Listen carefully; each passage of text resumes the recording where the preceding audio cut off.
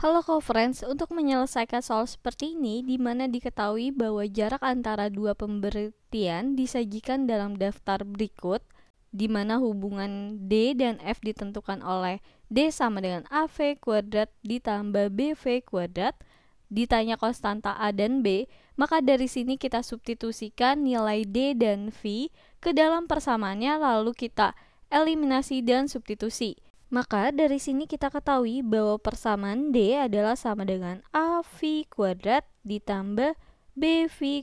Maka pertama jika kakak ambil kolom keduanya yaitu ketika V-nya sama dengan 5 dan D-nya sama dengan 15, maka persamaannya menjadi 15 sama dengan A dikali dengan 5 kuadrat ditambah dengan B dikali 5, maka 15 sama dengan 25A ditambah dengan 5B.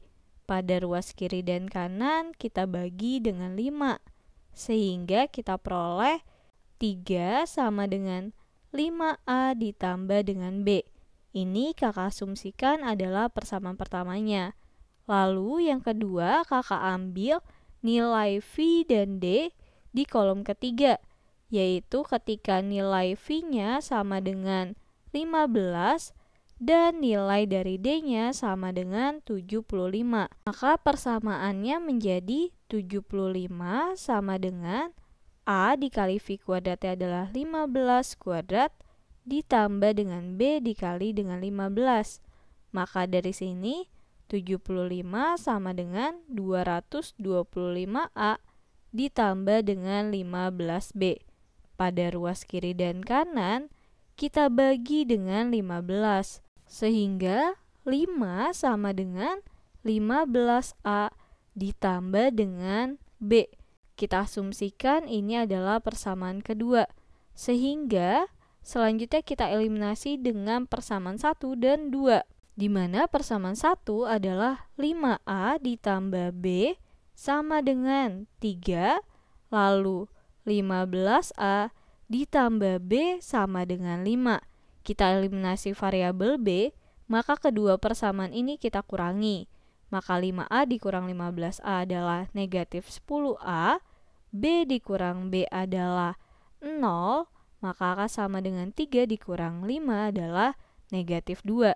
Sehingga nilai A-nya adalah sama dengan negatif dibagi negatif adalah positif 2 per 10. Atau jika kita sederhanakan, pada penyebut dan pembilangnya kita bagi dengan 2.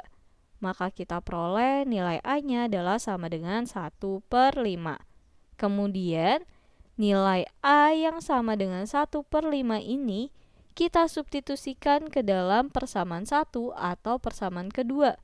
Di sini kakak substitusikan ke dalam persamaan pertama, yaitu 5A ditambah B sama dengan 3 maka 5 dikali dengan 1 per 5 ditambah B sama dengan 3.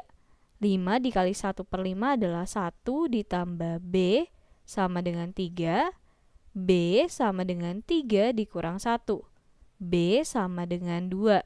Sehingga dari sini dapat kita simpulkan bahwa konstanta nilai A dan B-nya berturut-turut adalah 1 per 5 dan 2 yaitu pada pilihan A. Sekian, sampai jumpa di soal berikutnya.